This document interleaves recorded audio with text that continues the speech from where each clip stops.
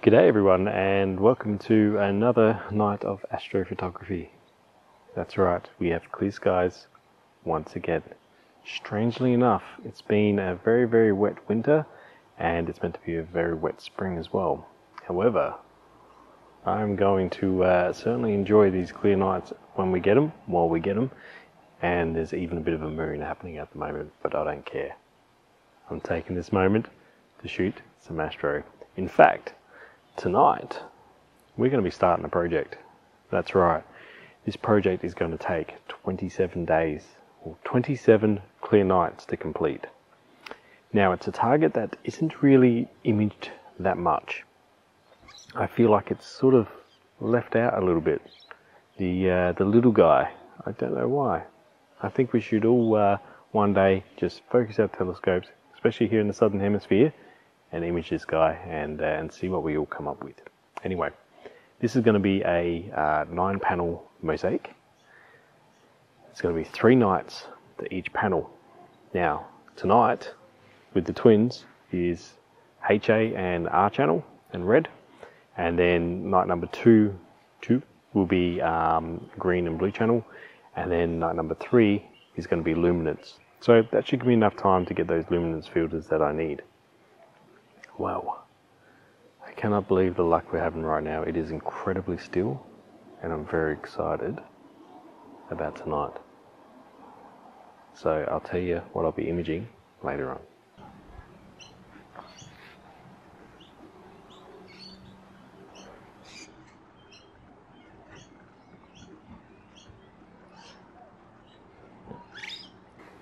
Alright everyone, it's uh, dark enough now to get the twins all fired up. I've just powered the, uh, I've just got the battery pack out and connected it up, so uh, let's hope it lasts throughout the night. Um, yeah, everything is all pretty much ready to go. So I'm going to uh, jump inside in a second where it's nice and warm and start the imaging session. Uh, but before I do that, I will let you guys know exactly what we're shooting. We're going to be photographing for this nine panel, nine panel uh, mosaic, the SMC, the Small Magellanic Cloud. Um, it's uh, I don't really see a lot of images of the SMC, uh, so and I haven't I've kind of photographed it a little bit, but I haven't given it my all. So I figured, why not? Let's get the twins on the SMC and uh, and start this project. Cannot wait. It's going to be quite lengthy. It's going to take quite some time. So uh, we'll we'll see how much of it I get done um, this year, and uh, yeah, then we'll probably move on to the next. All right. So I'm going to get nice and warm inside, fire up the twins, and get imaging.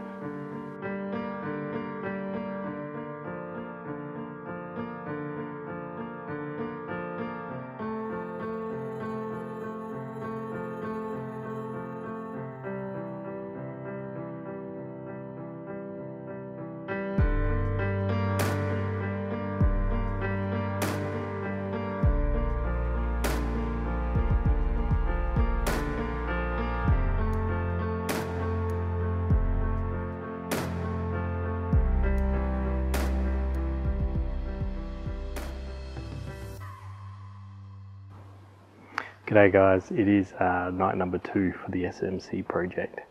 And night number one, I didn't really capture as much data as what I had hoped for, wished for. Ended up getting a lot of cloud coming through about halfway um, through the night. So I captured roughly around about three hours of data. I may look at um, going back and capturing some of that data at a later date, um, just to boost that up a bit. I would like roughly around about five hours, but um, we'll just have to wait and see. But tonight we are going to capture um, in the green channel and the blue channel, and hopefully we get a good night of imaging. There's no, uh, well, there is some cloud forecast, but that's for um, yeah, around about sunrise anyway. So fingers crossed we get a uh, good run. The moon will rise um, at some point throughout the night, uh, but it shouldn't really affect the imaging session too much. Um, so yeah, I'm going to uh, fire these up and uh, start collecting some data for our uh, SMC Panel 1 project. And I'm pretty damn excited to see just how well this image is going to turn out.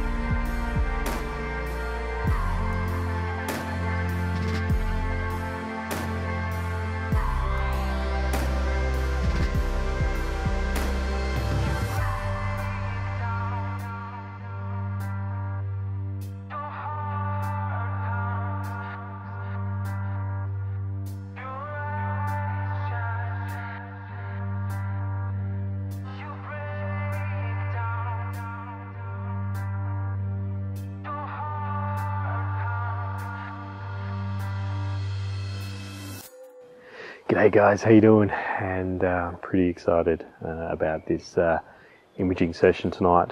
We are now onto our luminance data for the uh, for panel number one of the SMC project, and I'm really excited to actually see what this turns out um, to look like. A lot of work is going to be going into this, and uh, I, I, just I fingers crossed that everything um, sort of works out. We are shooting in mono. Um, so that's uh, relatively, I guess, new in a way uh, to me, um, as well as uh, yeah, it's. I cannot stress how much I'm stressed about this imaging session and hoping that it all goes to work together well. So we got red, uh, we've cap- captured red, we've captured hydrogen alpha, we've captured green, and we've captured blue, and now we're going a twin session on luminance. Now, the luminance filters I'm using are the um, Astronomik UV-IR um, L1 cut filters, and uh, and they are the 36 millimeter um, unmounted versions. I do have the two inch versions on their way, um, but unfortunately they just haven't arrived in time, so I've had to retrofit it to the beta um, setup that I got here. Hopefully, hopefully that works too. So a lot of stress going on right now for the last panel. Fingers crossed it's the last panel. We haven't had a lot of clear nights lately, and uh, and the last thing I want to do is have to reshoot a, whole night of uh, of images. So um, yeah, let's just wait for it to get dark, fire the the big bad twins, and uh, get imaging.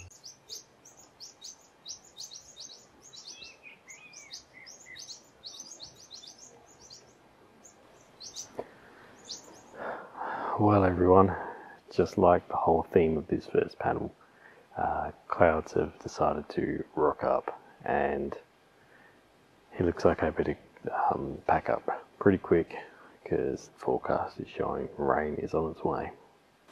Didn't see that one coming. Just goes to show the sort of inconsistency, inconsistent weather we've been having, and I'm pretty damn tired. If you can't tell, um, we probably captured around about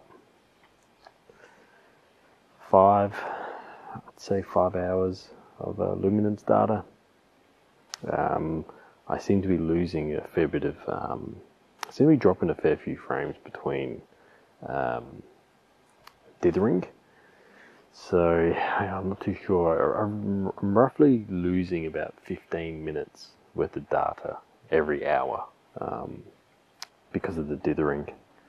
So I'm going to have to try and work on, on fixing that to um, hopefully maybe speed things up a little bit because it's synchronized dithering.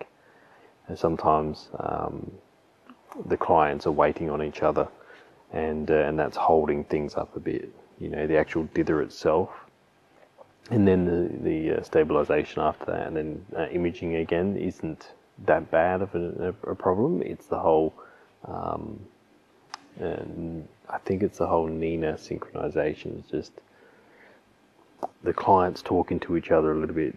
Uh, sometimes takes it a little bit too long. I think I'll have to uh, work it out and, and, see. And if any of you guys do dual imaging um, and use NINA for dual uh, synchronization of dithering, let me know in the comments um, how you go. All right. Well, that's it for me and panel number one. Fingers crossed. Let's throw all the uh, all the data together and see what we come up with. And, uh, and fingers crossed, turns out all right. All right, guys, that's it for me. So until next time, take. Wait a minute. Wait a minute. I almost forgot. Don't forget to give me a big thumbs up, guys, if you've enjoyed this video. Leave a comment and subscribe. Alright, I'm out of here. See you.